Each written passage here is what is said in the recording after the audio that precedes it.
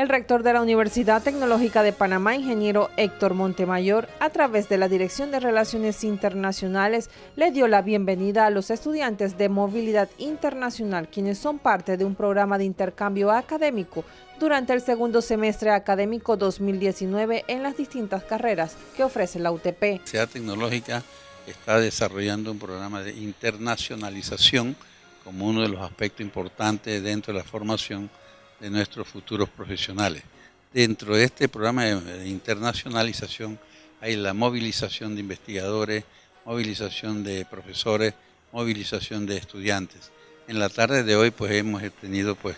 una conversación breve con estudiantes de movilización estudiantil. Algunos vienen a hacer un proyecto de investigación, otros dar algunos cursos, otros pues a conocer aspectos generales pues culturales del país porque esto es una práctica que están usando pues todas las universidades del mundo, eh, que sus estudiantes conozcan otras culturas, conozcan otros idiomas, conozcan otros desarrollos tecnológicos y eso para nosotros es sumamente importante. En el recibimiento se les dictó una charla de inducción para que los estudiantes conozcan la historia de la UTP, la vida universitaria y las responsabilidades que deben cumplir durante su estancia de intercambio en esta institución.